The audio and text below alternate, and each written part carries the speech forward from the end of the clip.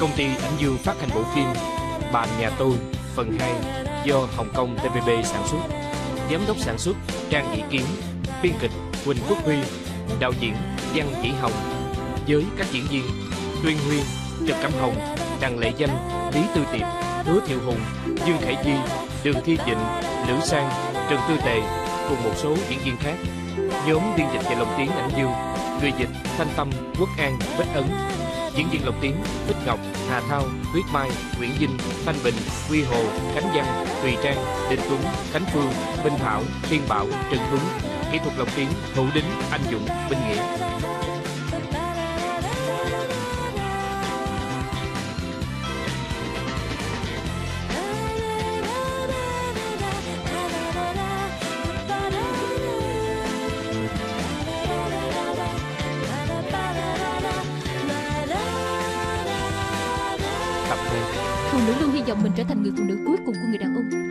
Vọng mình là người đàn ông đầu tiên của người phụ nữ. Trước tiên chúng ta phải hiểu rõ, Tại sao ngày hôm đó bị cáo lại dùng tấm thẻ vốn thuộc về người chồng quá cố của bà. Và cũng chính là ba chồng của tôi, Ông Cát Đức Thông Thật ra nguyên nhân rất đơn giản, Chủ yếu là vì một chữ yêu. Trong tay tôi có bằng chứng rất xác thực, Có thể chứng minh bị cáo Chung Định Anh lúc đó chỉ là nhất thời lỡ tay, Tuyệt đối là vô tội. Thưa chính án, Ở đây có một bản ghi chép sử dụng Bác đạt thông Do công ty Bác đạt thông cung cấp. Trong đó ghi rõ tình hình sử dụng bát đạt thông của má chồng tôi tức bị cáo Chung Định Anh cùng với tấm thẻ trưởng giả bát đạt thông của ba chồng tôi. Tin rằng ngài chánh án từ bản ghi chép sử dụng thẻ bát đạt thông này có thể thấy được rất rõ ràng. Từ sau khi ba chồng tôi mất, thẻ trưởng giả bát đạt thông của ông chưa hề được sử dụng, cho đến ngày xảy ra sự việc. Trái lại, thẻ bát đạt thông thuộc về bản thân bị cáo thì hầu như ngày nào cũng được sử dụng. Như vậy cũng đủ để chứng minh bị cáo Chu Định Anh hôm đó chỉ là do nhất thời sơ ý, tuyệt đối không hề có bất cứ ý đồ lừa gạt tiền xe. Từ danh án, bị cáo Chu đình Anh là một người phụ nữ nông thôn rất truyền thống. Bà rất yêu người chồng đã cùng bà chung sống mấy mươi năm. Cũng bởi vì vậy, sau khi ba chồng tôi qua đời, tất cả những đồ đạc mà ông để lại, dù chỉ là một tấm thẻ bát đạt thôn, đối với má chồng tôi mà nói, đều chứa đầy những hồi ức quý giá. Thật ra bắt đầu từ ngày xảy ra chuyện, điều má chồng tôi lo lắng nhất không phải là tòa có phạt bà hay không, mà là không lấy lại được thẻ trữ giả bác đạt thông do chồng bà để lại. Vì vậy tôi hy vọng ngài chánh án hiểu cho tâm tình của má chồng tôi cũng chính là bị cáo, mà có phán quyết thích đáng hợp tình hợp lý. Đừng để bị cáo ngoài nỗi đau mất mát, còn mang theo sự nuối tiếc. Bị cáo Chung Đỉnh Anh bị thưa vào ngày 7 tháng 3 năm nay. Ở trạm tàu điện ngầm Cửu Long Đường đã sử dụng thẻ trưởng giả bắt đặt thông không thuộc về bản thân. Vi phạm điều lệ sử dụng ưu đãi vé xe sau khi nghe lời trần tình của hai bên viện khống. Bây giờ bổn tòa quyết định chấp nhận lời khai của nhân chứng bên viện. Chúng ta có lý do tin hôm đó bị cáo sử dụng thẻ bắt đặt thông chỉ là do sơ ý, không phải là cố ý lường gạt. Đồng thời rất cảm động trước tình cảm sâu nặng của bị cáo với người chồng đã mất. Bây giờ bổn tòa phán quyết tội danh không thành lập. Bị cáo chỉ cần bù lại phí xe có liên quan. Bãi tòa. Chị hai à, lúc nãy bài nói của chị hay dễ sợ, lần sau mắt không sao cũng nhờ có chị đó. Phải đó chị hai à, chị có thể cho em bản thảo bài trần tình lúc nãy không? Em muốn tối nay tải lên mạng chia sẻ với các bạn. Nè bối à, học khoa báo chí là phải học cách dùng từ thế nào. Lúc nãy là bài thị phạm rất hay, chị thấy ông chánh án cũng rơm rớm nước mắt. Được rồi, hai em không cần nịnh chị nữa. Muốn khen á, thì phải khen anh của các em. Những lời lúc nãy á, tụi chị đã cùng nhau suy nghĩ suốt cả đêm. Nếu hai em không khen ảnh, chị sợ ảnh sẽ ghen. à, Không cần không cần à, Từ đó tới giờ Anh là người đàn ông đứng phía sau chị hai của em Mấy chuyện này Anh không có ganh đâu Mẫn à Lần này thật sự rất cảm ơn con Má thấy ngại quá Lúc trước mọi người đều hiểu lầm con Đừng vậy mà má. Tòa án đã phán má vô tội, má đừng nghĩ nữa. à, Má à Lần này đòi lại được công bằng Hay là chúng ta uống trà chúc mừng đi À, được đó. Má à, má muốn đi đâu uống trà? Lần này người cực khổ nhất là con Vậy con thích đi đâu thì chúng ta đến đó à, Nói về ăn uống Ông 13 là người giỏi nhất Ông nói đi Không còn hơn đâu. Không quyết định đây. ừ, Vậy thì đến chỗ lần trước đi ha. Cô Cao, cậu Cát. Chị Bình, Chị mới đó đã đi làm rồi sao? Anh không có đi làm Ở nhà chỉ buồn hơn thôi. À phải rồi cậu Cát à Thật cảm ơn cậu nha. Giới thiệu bạn bè cho tôi Lo ổn thỏa chuyện hậu sự của ảnh. Nếu không tôi không biết làm sao. À, Chỉ tiện tay thôi. Chỉ cần giúp đỡ gì thì cứ việc lên tiếng ha. Mọi chuyện cũng làm tương đối rồi Bây giờ chỉ còn tìm nơi để đặt tro cốt của ảnh thôi. Sếp à Chính là bà Chính là bà. Bà đã trộm tro cốt của chồng tôi bắt bà đi. Chị Bình Là ai vậy? Cô là vợ của ảnh đó.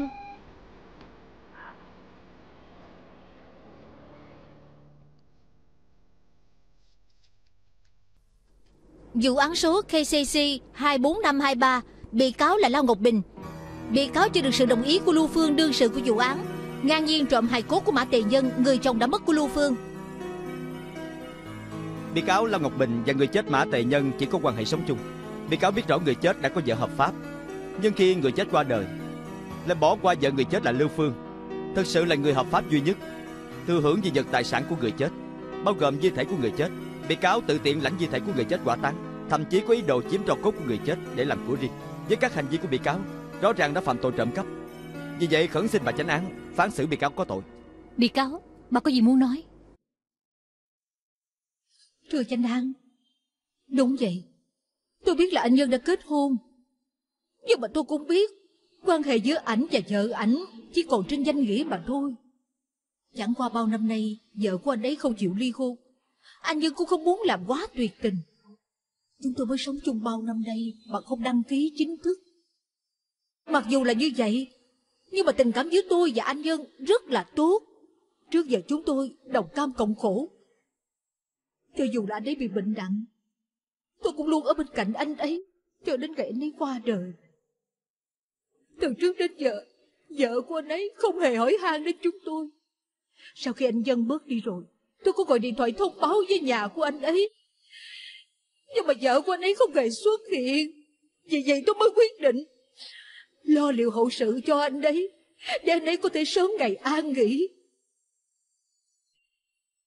Thưa chánh án Năm xưa chồng tôi vì con hồ ly tinh này Rời bỏ gia đình, bỏ rơi tôi. Ảnh vô tình vô nghĩa. Tuy tôi không hỏi đến Nhưng tôi không làm chuyện có lỗi với ảnh. Bây giờ ảnh chết rồi. Nghĩ tình chúng tôi từng là vợ chồng. Tôi không muốn ảnh chết không toàn thây Ai ngờ con hồ ly tinh này lại tự ý quyết định Đem thiêu thi hài của chồng tôi Muốn chiếm cho cốt làm của riêng. Tôi mới là vợ hợp pháp Bà không danh không phận.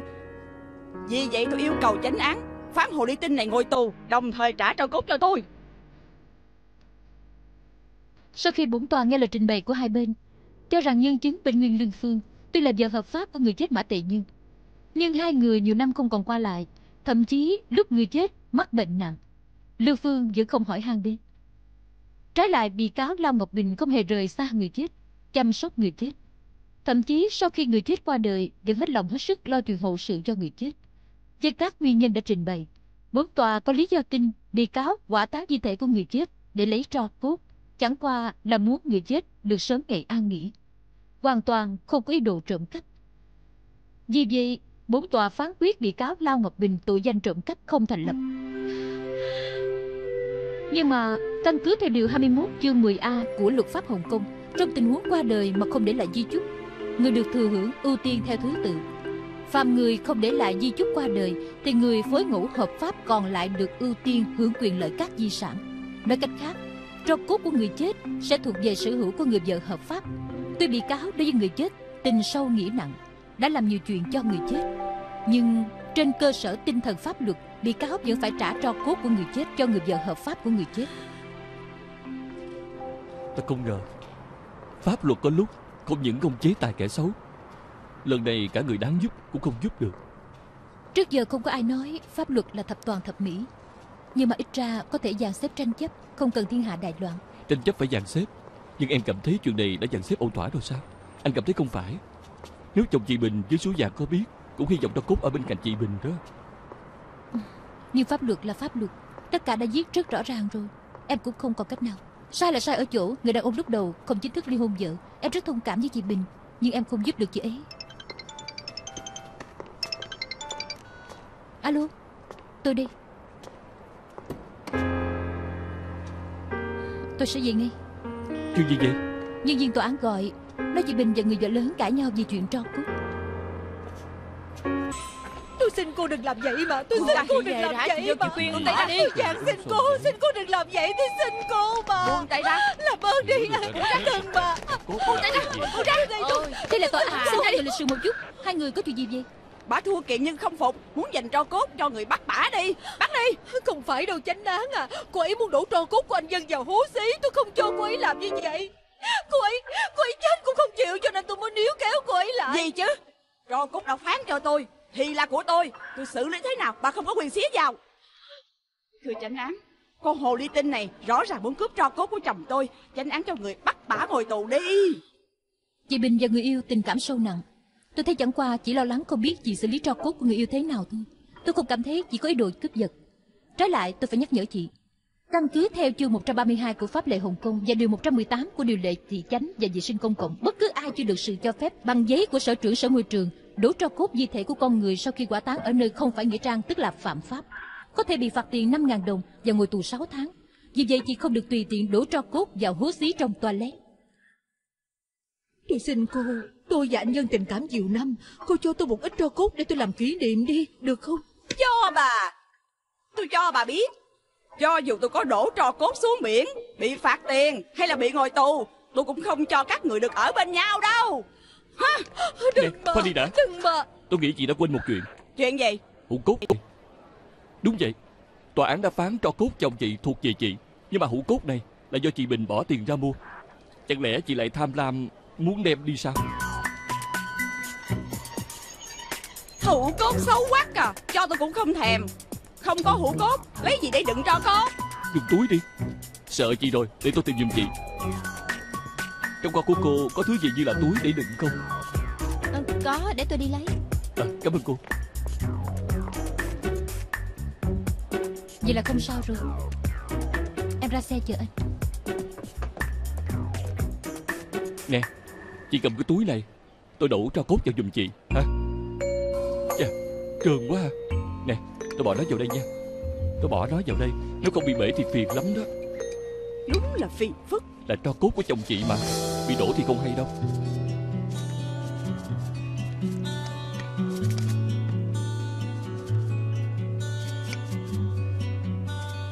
À Xong rồi. Tất cả tro cốt của chồng chị đều ở trong này hết. Còn cái hũ thì trả cho chị Bình. Hai bên đều vui. Được rồi chứ. Vậy tôi đi đó.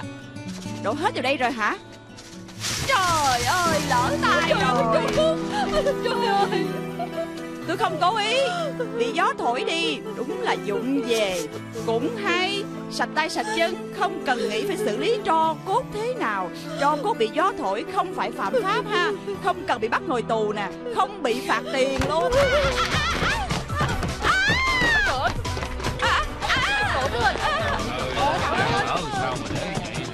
Đúng là ác có ác báo Nhưng mà không ngờ. Báo ứng lại nhanh tới vậy? Có báo ứng thì đã sao? Tro cốt của anh dân cũng không còn nữa. Chị Bình à Chị đừng đau lòng quá. Hũ cốt này tôi trả lại cho chị. À phải rồi Lúc nãy tôi không cẩn thận. Có đổ tro cốt ra ngoài túi đó. Mấy thứ này không ai cần. Chị Bình Chị phụ trách quét dọn. Chị tôi giao cho chị xử lý Tôi đi tìm vợ tôi đây Ây Cảm ơn cậu nha. Làm ơn. Da. À.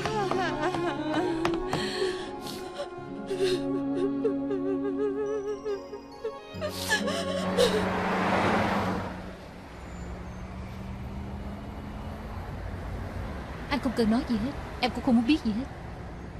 Thật ra chuyện lúc nãy Thật sự để chứng minh cách nói lúc trước của anh Có lúc pháp luật chưa chắc Có thể giải quyết ổn thỏa vấn đề đâu. Có phải coi hai người đó ai khỏe mạnh hơn Giành được tro cốt Vậy mới là giải quyết được ổn thỏa vấn đề không? Thực ra lần này trọng điểm không phải là tro cốt. Hey, Là bà vợ lớn từ trước đến giờ Rất căm hận chồng mình và chị Bình Do đó mượn cớ giành tro cốt. Mục đích là để trút oán hận bao năm của mình Đối với chồng và chị Bình Nếu như từ đầu sắp xếp chị Bình và vợ lớn Bình tĩnh ôn hòa Ngồi xuống từ từ nói chuyện Quá giải nỗi oán hận trong lòng người vợ lớn. Vậy không cần phải kéo nhau ra tòa nữa. Nè như vậy nghe ra Có phải ổn thỏa hơn nhiều không? Có lẽ là anh nói đúng. Nhưng mà không thuộc phạm vi công việc của em. Tóm lại cho đến tận bây giờ Em cảm thấy pháp luật vẫn là cơ chế tốt nhất Để phán xử thị phi đúng sai. Phải rồi thưa chánh án. Đừng lo nói hoài Tập trung lái xe đi. Phải rồi. Ở cái bên nhà Có mở một quán ăn Thái mới. Hãy tới đây mình đừng nấu cơm Dẫn baby ra ngoài ăn đi. Được đó.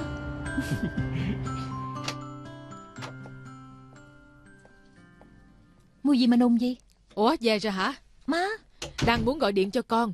Con coi má nấu cơm rồi. Có hầm canh ngưu đại lực tỳ thực giò heo Trừ tê thấp lợi tiểu. Má à Mấy chuyện này má để cho con làm được rồi. Con nấu đâu có quen tay bằng má.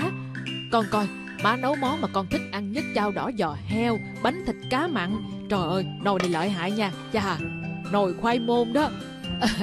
Còn nữa má sợ con Mẫn không đủ tinh thần Cho nên má có nấu trà đương quy táo đỏ cho con bổ huyết đó. Ừ, Cảm ơn má. À phải rồi Baby đâu? À, Nó ngủ rồi. Má vô nấu cho xong món cá nha. À. Má uống đi còn nóng đó. Uống đi. Anh biết không Từ lúc nhà mình sửa sang Phải dọn về Tô Di ở hơn một tháng Ngày nào cũng ăn món quê má nấu Đến nỗi bụng em sình lên. Ngày nào cũng uống canh đại bộ má nấu Uống đến nỗi em bị nổi mụn luôn. Này. Bây giờ dọn về nhà má cũng không chịu tha cho tụi mình nữa. Em mặc kệ Anh phải giải quyết giùm em đó. À, Không thành vấn đề.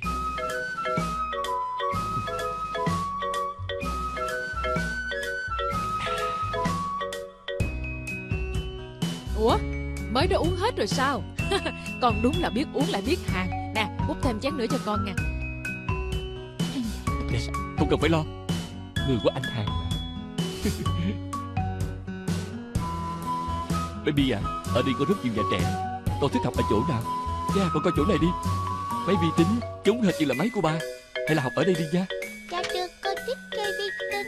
Đang học là chơi vi tính. Vậy rất hại cho mắt đó. Đừng học chỗ này nữa. Ê, Nè baby à Hay là học ở đây đi. Ở đây là nhà trẻ quốc tế. Con coi chỗ đây được không? Đó. Thấy chưa? Anh à, Có chuyện gì vậy em? Có dáng sao? Nè baby Con từng coi trước đi nha Ngoan lắm. Chuyện gì cha Lớn chuyện rồi. À, Má đang cầu cứu. Sao vậy? Có chuyện gì?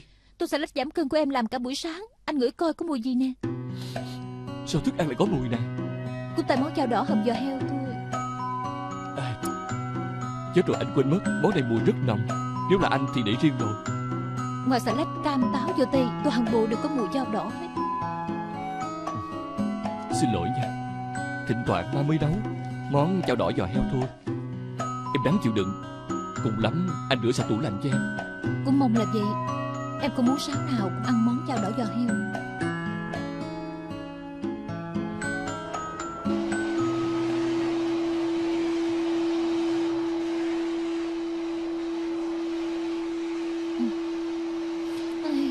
Các quốc quan à Có nhầm lẫn không đây Biết rõ hôm nay em được nghỉ dậy trễ Anh lại đi hút bụi Các quốc quan Má. Má. Má ạ. Má. À Hi Mẫn Chào con. Chào má. Sao má đến sớm vậy? Còn hút bụi nữa. Phải đó Uống trà sáng xong không có chỗ nào để đi Nhân tiện đến đây dọn dẹp nhà cửa giùm con Vậy mà cũng nói nhân tiện. Má à Thật là ngại quá. Để má dọn dẹp nhà cửa giùm con. Trời ơi người nhà mà khách sáo cái gì chứ? À phải rồi. Con mau vào ngủ đi hôm nay là chủ nhật. Má nghĩ con ngủ thêm lát nữa. Ở đây có má dọn dẹp là được rồi ha. Thật ra con ngủ đủ rồi. Để con làm cho. À vậy để má nấu bữa sáng nha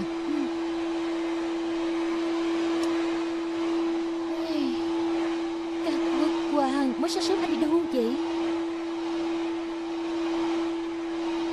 Em à? Em à? Em à? Má làm em thức hả? Anh nói đi. Em hỏi anh Anh định giải quyết má thế nào đi? Ờ, Xin lỗi. Má chỉ thỉnh thoảng ra hút bụi thôi Em đáng chịu đựng đi Đừng có giận má. Anh ghi âm hả Nói tới nói lui chỉ mấy câu đó thôi. Em cho anh biết nha Nếu như tuần nào á má cũng ra đây Làm cho em không ngủ được Em sẽ giải quyết anh.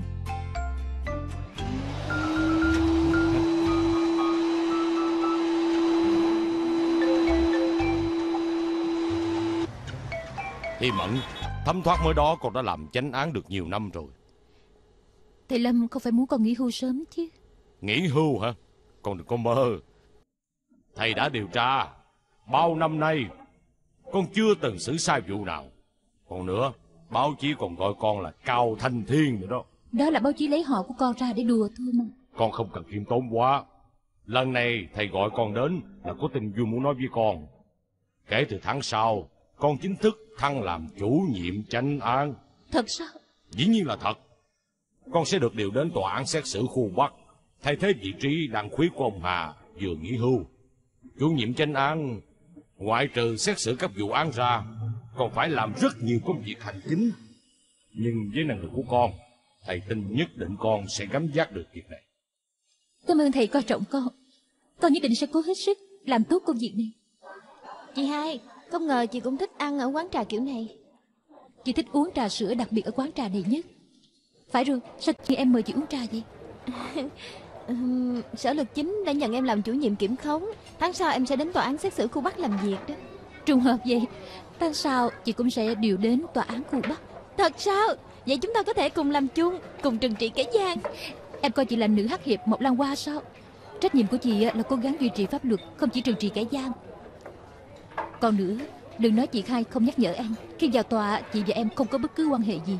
Nếu như em phạm lỗi lầm, Cũng sẽ bị la như thường đó. Em biết, Nếu chị có chỗ nào xử không đúng, Em cũng phản đối như thường. Chị à, một người sau, mời bên trong, đi từ từ, cẩn thận nha. Ê chà, nóng quá, nóng quá. Ờ, Ông ơi chỗ này tôi thấy trước mà. Cô điên rồi sao, quy tắc gì vậy? Nhìn thấy chỗ là của cô hả? Ha, Cô nhìn thấy quán trà sao nó quán trà của cô luôn đi. Nè ông có phải là đàn ông không? Dành chỗ cho phụ nữ mang thai. Ai đâu phải đàn ông. Tôi là đàn ông. Tôi là đàn ông lớn tuổi bị bệnh phong thấp nữa à. Hờ, Đâu phải cô già đâu. Chỉ cô nhường chỗ cho cổ ngồi đi. Ở chị à, ở đây có chỗ nè Nè, vậy là có chỗ rồi. Hay lắm sao? Làm ơn. Trà chanh lạnh, bánh thơm sữa cảm ơn. Nếu chưa có chỗ Đỡ phải ngồi chung với mấy kẻ tiểu nhân. Nè, đổi chỗ, đổi chỗ. Ê. Có đồ tốt ở đây nữa. Chà. Bữa trà này đúng là có lợi nha Sao trong quyển sách của chú này Mấy chị trong đó không có mặc quần áo gì hết vậy? Trời ơi ông thiệt là quá đáng Mà ở chỗ đông người xem là sách khiêu dâm hả? Ở đây có phụ nữ với trẻ em đó. Vậy thì đáng sao chứ? Ha, Chính phủ cho bán ngoài đường Thì dĩ nhiên được coi rồi. Tôi còn chưa nói con trai của cô. Ha, Dám còn lấy sách của tôi nữa Thiệt là. Ông thiệt tình. Nè trong giới đàn ông da mặt của ông cũng dày lắm nha. Tôi cảnh cáo ông Mau cái sách khiêu dâm đi. Nếu không tôi sẽ báo cảnh sát bắt ông đó. Cô hai à à, Làm gì Hù tôi hả? Cái phạm pháp lệ nào vậy?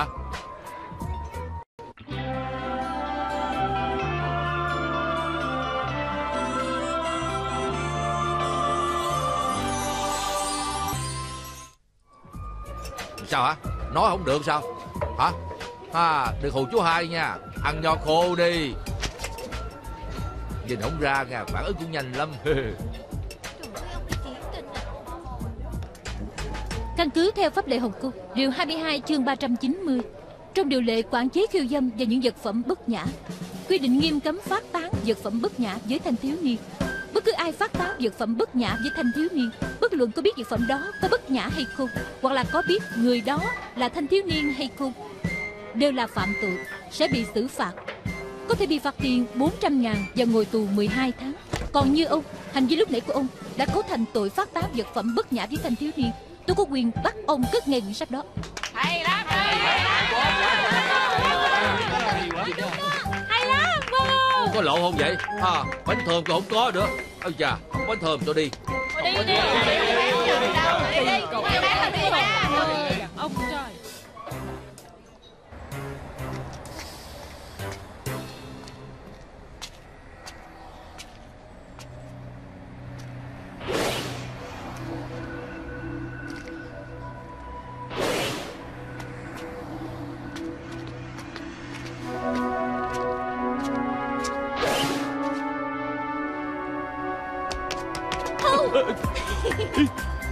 Vô vô. Sao Sao em lại ở đây? Em vừa xuống máy bay thì đến tìm anh đó. Sao hả? Anh có nhớ em không? Nè Vô vô xem lại về đây? Em thật sự không thể nào quên anh được. Anh có biết lúc em ở Mã Lai hả? Ngày nào cũng nhớ đến anh đó. Em không thể chịu đựng sự dày dột của tình yêu nữa. Em muốn ở bên anh Đối lại tình xưa đó. Vô vô à, em nghe nói đi. Lần trước anh đã bị em quậy tung rồi. Này không được không được Lần trước là không. tính đâu. Lần trước em chỉ nói suông thôi mà. Lần này em nhất định phải hành động thực sự. Nhất định phải tóe lửa lên mới được đó. Vô vô à. Anh đã có vợ có con rồi. Ừ, Không sao đâu không sao đâu. Em đừng có phá anh nữa mà Nè. Trang Quốc Quang. Anh có nghĩa khí lắm. Anh lại giấu tôi. Cùng với Vô làm ra chuyện này hả? À, Không phải đâu. AK em nghe nói đi. Anh anh vừa mới gặp vô thôi. Anh nói đi. Thật ra tôi làm sai chuyện gì mà anh hết lần này tới lần khác có lỗi với tôi. Anh nói đi. Ờ, Không phải đâu. Tụi Tụi, tụi anh không có gì Vô vô Em giải thích giùm anh đi Em giải thích giùm anh đi.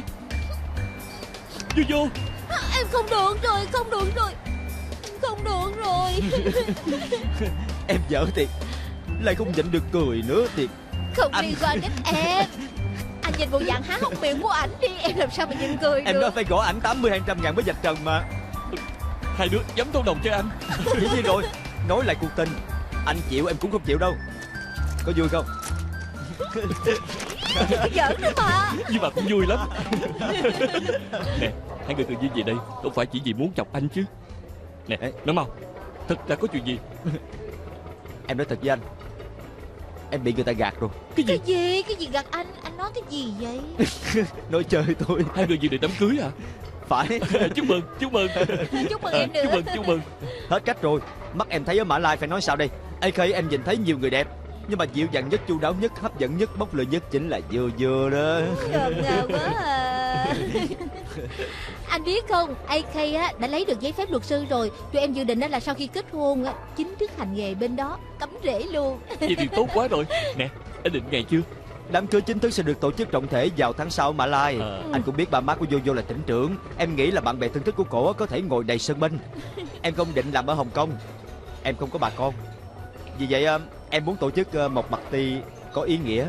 Cùng vài người bạn cũ chung vui thì được rồi. Tha cho em đó Không quên tụi anh. Nè Chị bạc ti dự định thế nào? Ờ không có gì Quan trọng nhất là phải tinh tế Ấm áp lãng mạn. Nhưng mà nhất định á, phải khiến cho tất cả mọi người suốt đời khó quên. Chà Vậy thì khó lắm nha. Ê, Không hề khó khăn. Tô Á Cơ này á, đã có kế hoạch chu toàn. Em dự định tổ chức ờ, một mặt ti đám cưới như thần thoại Trong khu giải trí Disneyland. Có nhân vật hoạt hình mà Vô Vô thích nhất Bạch Tuyết bị chú lùn nha. Cùng múa tung tăng với tụi em Và cao trào của hôn Còn có lễ dịp Donna nữa. Dĩ nhiên Bang bắn pháo hoa. Phải không? Qua Rất lãng mạn. Vô vô à Vậy em nghĩ sao? Ờ không có gì. Ờ, Cách nghĩ của người yêu em Cũng chính là cách nghĩ của em đó. Thật sao? Ngọt ngào quá. Phải rất ngọt ngào đó. Ngọt ngào lắm. Đúng là khiến cho người ta ngưỡng mộ. Lần này AK để chịu tu tâm dưỡng tánh Chuyên tâm làm chồng của người ta Lúc nãy em không có mặt Hai người thật sự khác hẳn lúc trước. AK vừa dịu dàng vừa chu đáo. Còn vô vô Chuyện gì cũng theo AK Như con chim nhỏ nương tựa vào người. Ê chà Hai người đó yêu thương nhau Giống y như kẹo mạch nha. Làm như bên cạnh không có ai hết vậy đó. Sao hả? Anh thấy không phục sao? Hay là anh còn dương vấn tình cảm với vô vô Nghe người ta nói đám cưới trong lòng cảm thấy khó chịu? Anh đâu có không phục Đâu có khó chịu đâu. Trời Em mà Em cũng biết Anh và vô vô trước giờ chưa từng có chuyện tình cảm. Sao lại còn chuyện dân vấn ở đây được? Có những chuyện phải hỏi bản thân anh mới biết được. À, Nè em à Em nói cái gì kỳ vậy? Đã bao nhiêu năm rồi Chẳng lẽ em cũng không tin anh sao? Nếu em không tin anh à, Anh thề với chị bò bít tết này ừ, Nếu như Nè anh điên rồi sao? Em nói tôi mà. Ở nơi đông người như vậy Em lại dám chọc chồng của mình sao? Được Tối nay anh phạt em ăn miếng bò bít tết thiệt là bự Cho em bập chết luôn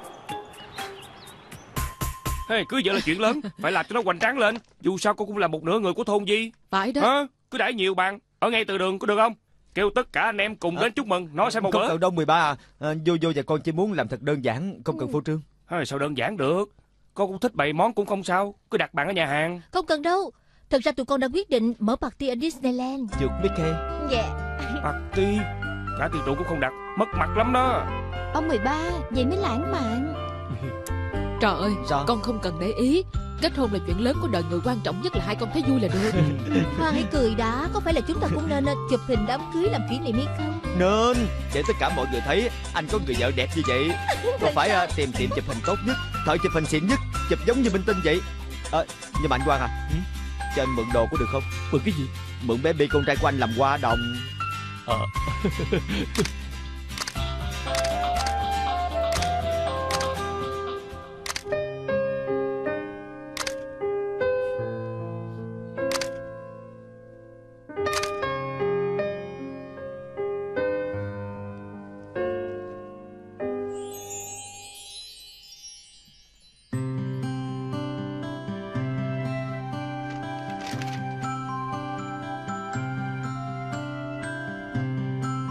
Anh đọc kỹ giấy thỏa thuận chưa? Anh đừng hối hận đó.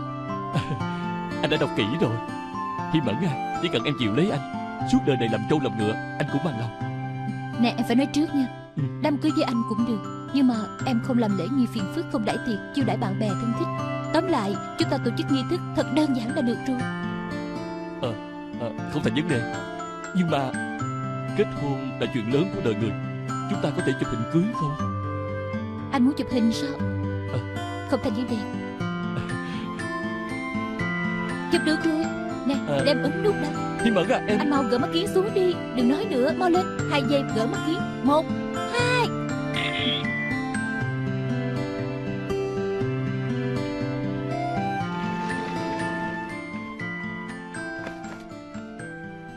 Ba ơi, ba đang coi gì vậy? Bà đang coi hình đám cưới ba với má con. Có nhìn đi này không đẹp bằng hình của trước AK giặt chị dơ dơ vậy? Nè baby à Chị con có muốn cùng với ba má chụp hình đẹp không Dạ muốn. Được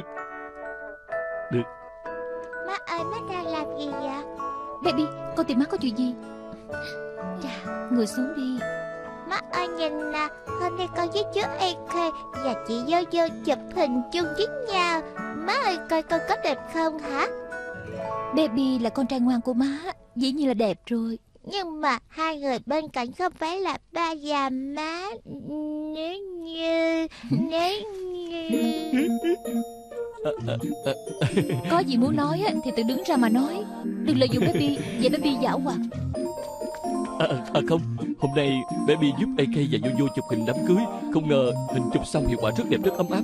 Cho nên anh cứ nghĩ Baby cũng đã 3 tuổi Cả nhà chúng ta cũng chưa chính thức chụp ảnh cả nhà. Gần đây em lại được thăng chức. Chà vui như vậy. Do đó anh nghĩ Hay là cả nhà chúng ta à, Làm giống AK và Yoyo chụp hình đám cưới đi. Anh muốn chụp hình đám cưới sao? Em còn tưởng anh muốn làm cái gì? Anh muốn chụp thì cứ chụp. Em à em chịu chụp sao? Nè nhưng phải nói trước nha Anh đừng đặt giờ sát quá Nếu ảnh hưởng đến công việc em không chụp đâu Em yên tâm dĩ nhiên là không rồi. Ờ mọi chuyện anh sẽ sắp xếp ổn thỏa. Đến ngày đó em chỉ cần đến là được. Baby mình được chụp hình đám cưới rồi Con có vui không? Vụ án số KCC 35354 Bị cáo Hà Thời Phú bị thương vào ngày 2 tháng 4 năm nay. Trong toilet ở lầu 2 siêu thị dưỡng giác không giải thích hợp lý chuyện xuất hiện ở địa điểm trên nghi ngờ du đảng khiến cho người khác bất an. Không phải chơi mình vậy chứ. Trời đất ơi chết rồi Cô chạy xuống sông Hoàng Hà cũng rửa không sạch. Bị cáo ông có nhận tội không? Ờ, Thưa chánh án Bà có cảm thấy ở đây quá nóng Có thể giảm nhiệt độ xuống được không? Tất cả máy lạnh của ban ngành chính phủ đều duy trì ở nhiệt độ 25 độ. Có phải bị cáo vì quá sợ hãi nên mới chảy mồ hôi không? Ừ, Tôi đi đàng hoàng ngồi ngay thẳng Có cái gì phải sợ? Bị cáo tôi hỏi ông lần nữa Ông có nhận tội không? Dĩ nhiên là không giận rồi Thực ra chỉ là chuyện ngoài ý muốn thôi. Nè hôm đó ngoài đường rất nóng Cho nên tôi muốn vào siêu thị ké máy lạnh thôi. Chà ai ngờ vào siêu thị á, cũng là 25 độ 25 độ dĩ nhiên nóng rồi. Tôi cứ chảy mồ hôi Đúng lúc đi ngang qua toilet nữ. Tôi mới lấy à, một cái khăn từ ở trong túi ra lau mồ hôi. Rồi không biết tại sao Một tờ trăm đồng rớt từ trong túi áo tôi ra 100 đồng lận. Dĩ nhiên tôi phải đi lượm lại rồi. Lúc tôi à, cúi xuống mà lượm á Chà không biết tại sao Nó là bị gió thổi về trong toilet nữ. Tôi thấy toilet nữ không có ai Cho nên tôi vào trong đó lượm. Ai ngờ khi tôi vừa lượm lên Trong toilet có một bà đi ra. Tôi chưa kịp la thì bà la tôi dây sợm Tôi thật sự bị quan mà chánh án Bị cáo Ông cứ chảy mồ hôi như vậy Hay là lấy khăn ra lau đi Rồi ông hãy nói tiếp. Ờ. Ờ ờ, ờ, ờ, Sorry nha Ờ, Hôm nay không có mang theo. Ờ, Sếp à ờ, Cho mượn khăn tay đi. Không có, về chỗ đi Vậy khăn giấy có không? Không có. Hôm nay ông không mang Hay là trước giờ không mang theo khăn? Dùng khăn tay là thói quen trong cuộc sống. Người quen dùng khăn tay rất ít khi quên mang. Bốn tòa nhắc nhở bị cáo Ra tòa cho lời thầy giả và lời khai giả. Tội danh còn lớn hơn tội du đảng. Tốt nhất ông nghĩ kỹ rồi hãng nói. Ờ tôi nghĩ kỹ rồi. Lúc nãy tôi nói sai. Thật ra chuyện là vậy nè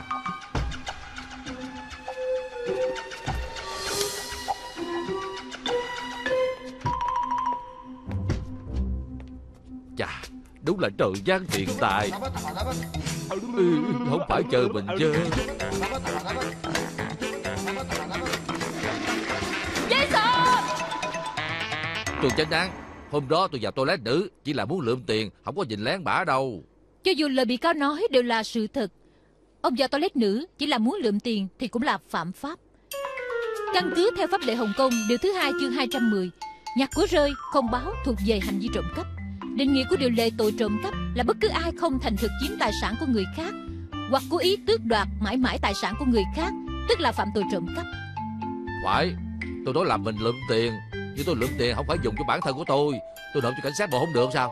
Nếu bị cáo thật sự không nghĩ sẽ chiếm 100 đồng đó làm của riêng Tại sao lúc đó ông không lập tức kêu cô gái làm rớt tiền quay lại Mà phải chờ sau khi cô ấy đi mới lượm tờ tiền đó? Tôi Còn nữa Ông thấy tờ tiền bay vào toilet nữ Tại sao không thông báo với quản lý siêu thị Mà phải vội vã vào lượm tờ tiền đó? Ờ tôi Tôi nghĩ bản thân bị cáo cũng cảm thấy khó mà tự biện minh. Ờ, tôi Do bởi lời khai của bị cáo trước sau không phù hợp Tự mâu thuẫn nhau.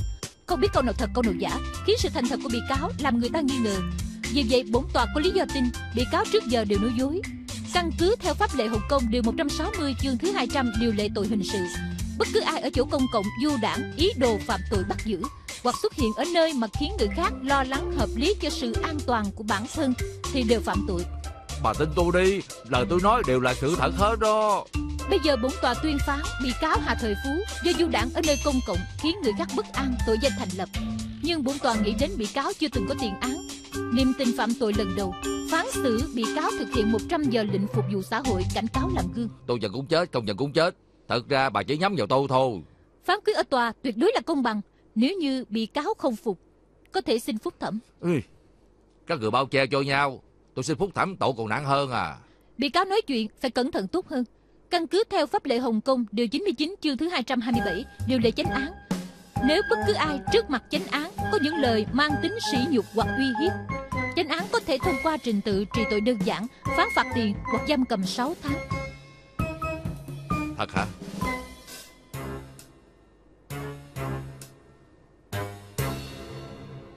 Em à Em sao rồi Đi được chưa Không thành vấn đề, em làm xong sẽ đến ngay. Vậy anh và bé Bi đến tìm chụp hình trước Em làm xong hỏi tôi nói nha Vậy anh nhớ chọn cho em bộ áo cưới đẹp nha. Ok, lát nữa gặp ha.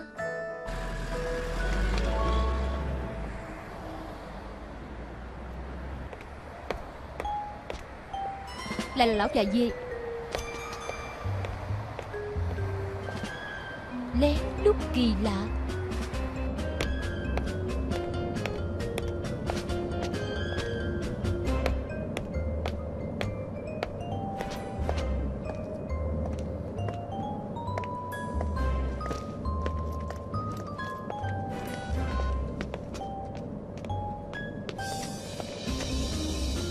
À! Đừng có làm còn la nữa Còn la nữa hả? la nữa hả? Ông đi chết đi, chết đi. Đây đây làm gì vậy? Ông đi chết đi. Làm gì vậy? Đi chết đi. Ai da Đã phá hông lệnh phục vụ xã hội. Bây giờ ông lại có ý đồ sàm sợ Cô không cần sợ. Tôi lập tức báo cảnh sát. Điện thoại của tôi hư rồi. Cô mau báo cảnh sát đi. Cô Trời chị điên rồi sao vậy? Xong ra thấy người lại đánh. Người này là ba tôi mà. Tôi kêu người bắt chị thì có. Ba của cô. Ây Ba da. có sao không vậy ba? Bà Hả? không biết nữa. Hả? Hả Lại là bà. Bà điên rồi hả? Gặp người là đánh hả? Xin lỗi nha. Tôi nhầm lẫn. Tôi cứ tưởng Tưởng cái gì? Sorry cái gì? Hả? Trên tòa bà dám vào tôi. Đến đây còn đánh tôi nữa. Con à Báo cảnh sát. Bà phải thư bà đến cùng.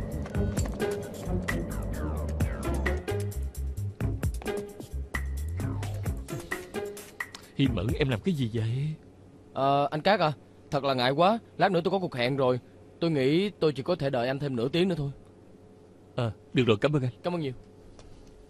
Ba ơi, sao giờ này mắt chưa có đến vậy? Ờ Má của con có thể đang làm chuyện rất quan trọng. Vì vậy mới tới trễ. Baby ngoan Đợi thêm một lát nữa Má sẽ tới ngay thôi. Thật hả?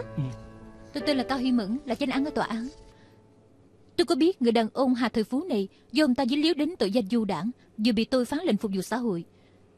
Lúc nãy ở ngoài đường Tôi thấy ông ta lén la lén lút Hành tung khả nghi đi theo cô gái này Tôi lo ông ta có ý đồ xấu với cô gái này Nên tôi mới đi theo ông ta.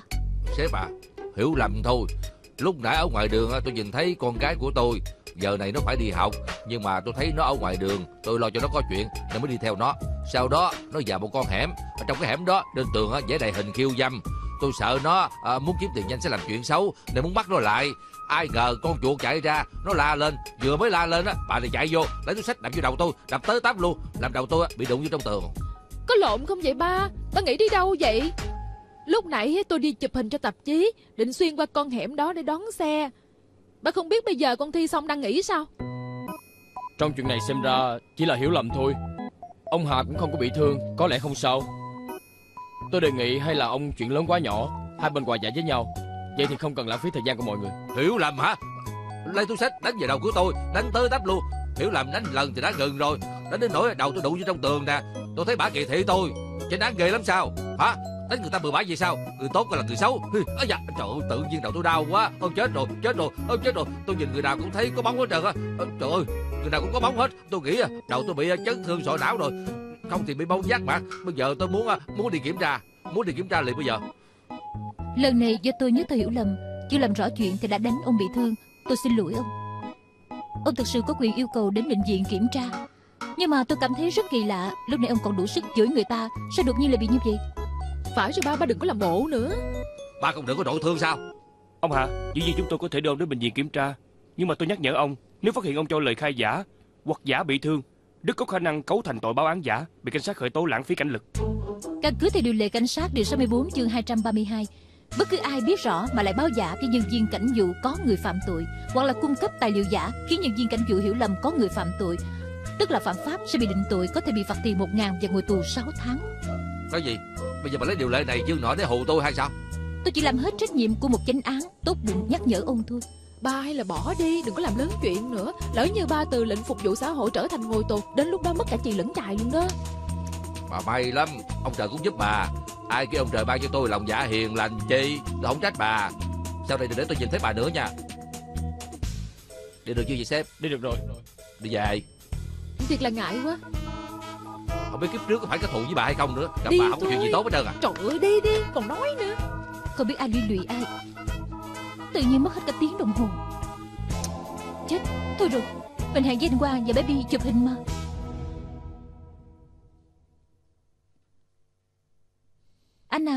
Không cần nói nữa Đến trễ quá nhiều rồi. Có biết người ta đã gọi điện cả buổi tối không? Anh đừng có giận mà. Con người gì nói không giữ lời. Chuyện gì cũng đã nói hết rồi. Đừng tưởng là người ta không biết giận. Cho mấy người biết nha Tôi mà sùng lên á Thì không phải là chuyện giỡn chơi đâu